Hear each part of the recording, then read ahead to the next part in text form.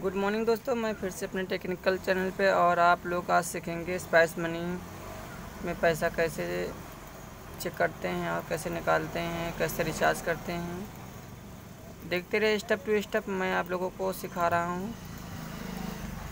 पहले अपने Chrome browser को ओपन किया और क्रोम ब्राउज़र पे ओपन करके हम बी टू बी सर्च करके इस तरीके की साइड आ जाएगी। बहुत आसानी से सीख सकते हैं।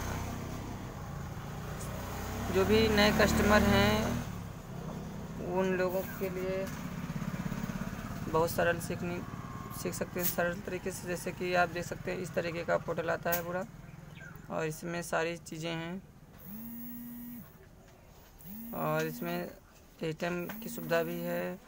मोबाइल रिचार्ज की है और एपीएस भी है, बिजली बिल भी है और बहुत सारी चीज़ें हैं इसमें।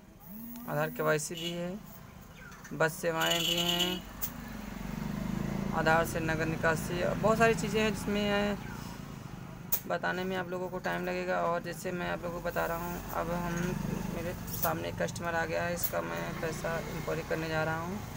ये हो गया मेरा ए और दोस्तों, जब भी हम आईडी आईडी पासवर्ड डालेंगे, उसके बाद रजिस्टर्ड मोबाइल पे ओटीपी आएगा। ओटीपी भरने के बाद ही तुम्हारा पोर्टल ऑन होगा।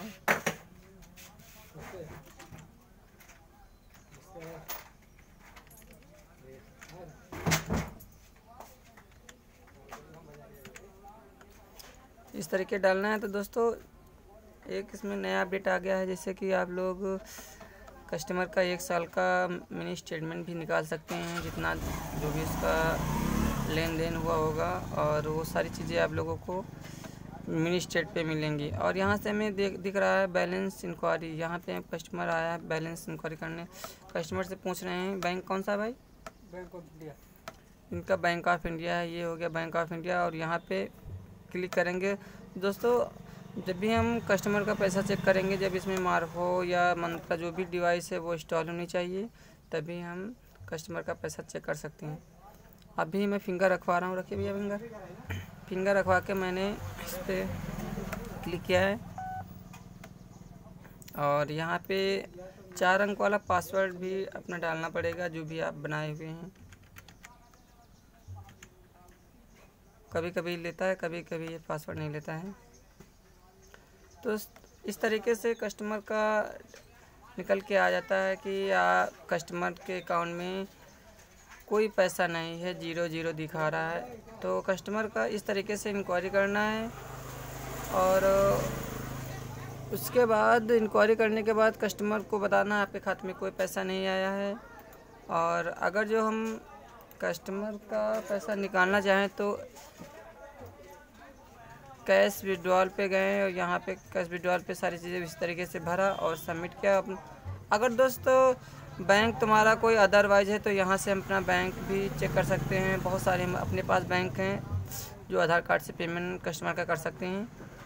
और ये तो हो गया ए की सर्विस और मैं आप लोगों को सिखाने जा रहा हूँ। मोबाइल रिचार्ज टीवी रिचार्ज और बिजली बिल, गैस बुकिंग, ये सारी चीज़ें भी इस पर हैं। और मैं थोड़ा थोड़ा बता रहा हूँ क्योंकि आप लोग सब समझ जाएँगे इसमें। देखिए, यहाँ से ऊपर से सारी चीज़ें आप लोगों को दिख रही हैं। डीटीएच है और मोबाइल रिचार्ज है एलपीजी है, इस तरीके से बहुत सारी चीज़ें हैं।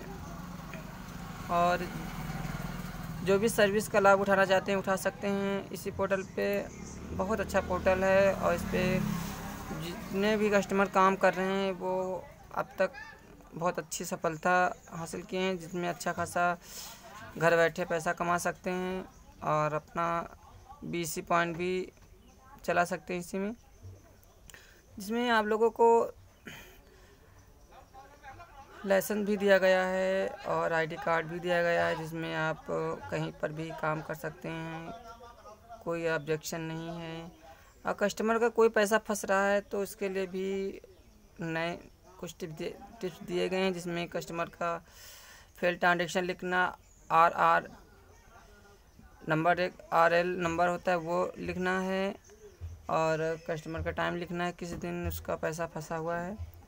इसी तरीके से अपना काम करिए और अच्छा कमाइए। और दोस्तों लॉकडाउन लॉकडाउन में थोड़ा अपना सेफ्टी करिएगा और कस्टमर जो भी आए उस उसका भी सेफ्टी करिएगा सैनिटाइज़र ज़रूर यूज़ करिए। जब तक ये लॉकडाउन चल रहा है, ये कोरोना वायरस की बीमारी चल रही है, क्योंकि इसमें ना कोई सीएसपी वाला बीसी वाला सेफ़ है, ना तो कस्टमर सेफ़ है। तो जो भी बी सी मर्चेंट हैं, उसके लिए, उनके लिए है कि वो अपना मास्क लगा के दस्ताना अपने हाथों में लगा, पहन के और उसके बाद ही कस्टमर का जो फिंगर रखवाएँ, उस डिवाइस को हर पाँच दस मिनट में सैनिटाइजर से साफ़ करें। इस तरीके से आप बीमारी से बचे रहेंगे और अपना बी सी पॉइंट ठीक तरीके से चलाते रहेंगे। देखते रहिए दोस्तों मेरा वीडियो। अगर मेरा वीडियो अच्छा लगा हो तो लाइक शेयर सब्सक्राइब करें और मैं लाता रहूँगा। इसी तरीके से आप लोगों को कुछ ना कुछ नया